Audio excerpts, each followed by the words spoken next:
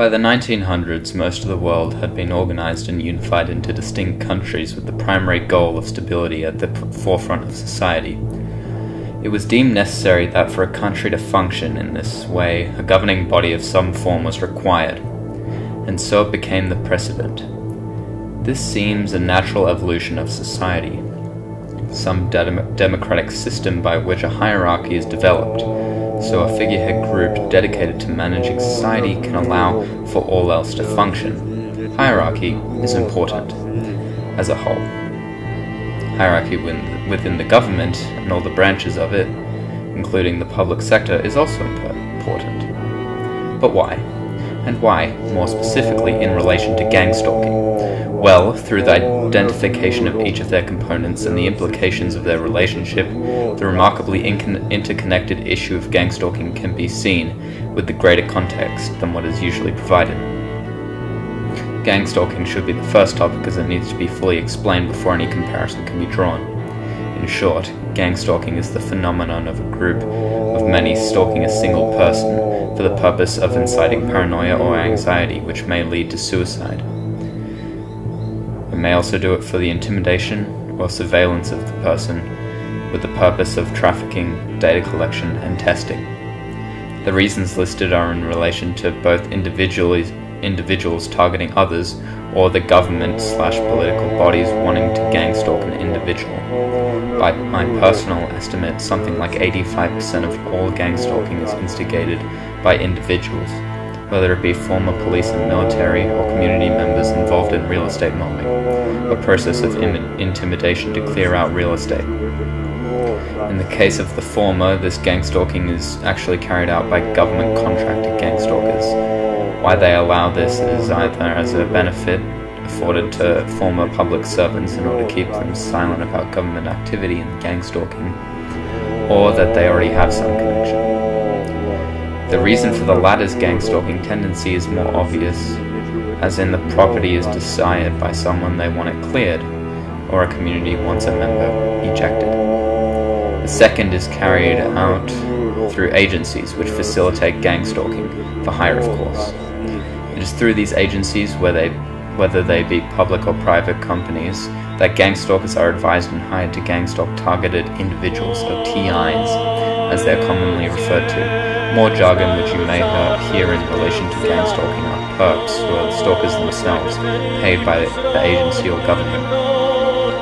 These terms can be further defined, examined, and given examples. Starting with the TI, targeted individuals are victims of gang stalking. You may have already encountered these victims online as they are often diagnosed from the outside as being paranoid schizophrenic due to the way they behave and their constant suspicion. This is of course a symptom of of and intended consequence of gang stalking. It is for this reason and presumptuous diagnosis that many victims of gang stalking are now not taken seriously by friends, family, or government bodies, although they would naturally play this off regardless due to their own involvement. TIs tend to suffer greatly from self-destruction through paranoia, and can sometimes result in suicide to the, due to the widespread, widespread lack of awareness and concrete information on gang stalking.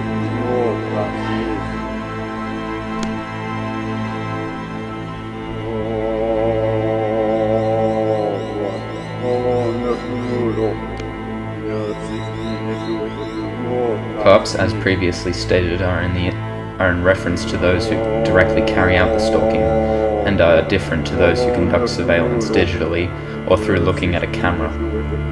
Perps can operate overtly or subtly.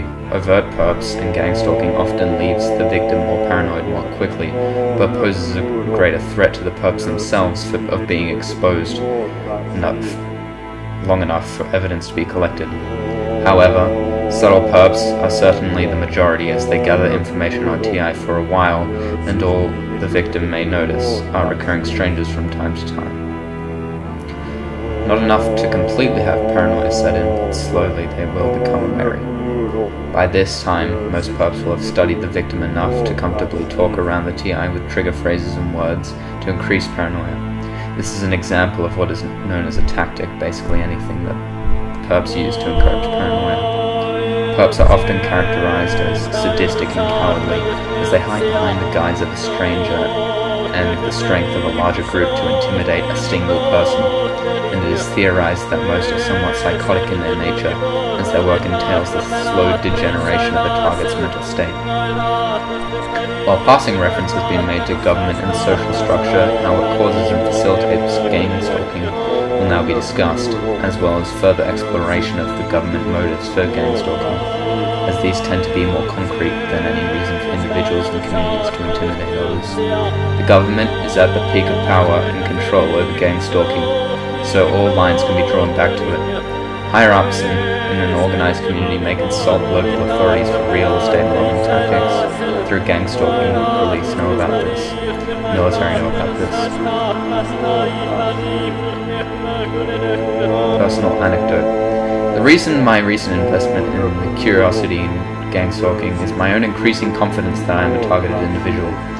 I find this mainly to be the case of recurring of people in, around me in places I visit around a schedule. For example, walking my dog around 8 pm each night and seeing an Asian family of three there each night in the same alleyway, who, when they see me, turn to the corner and back off and let me pass. I have not seen them leave this alleyway and only encounter them at this time, which tells me that they are stationed there around a schedule. They do not have normal conversation either, which leads me to believe that they are perps themselves. Random gibberish conversations with no meaning are common between them, and are a commonality I notice amongst those I suspect of being perps, if they are not speaking a different language, of course. Another example is a large man sitting on a red motorbike near a train station who watched me my whole way in, unwaveringly and overtly. I do not always notice this, but I tend to, to see people giving me glances, which of course implies the large number of people in on it. If I had to guess, it would certainly be government testing towards the paranoia of self destruction and eventual suicide, as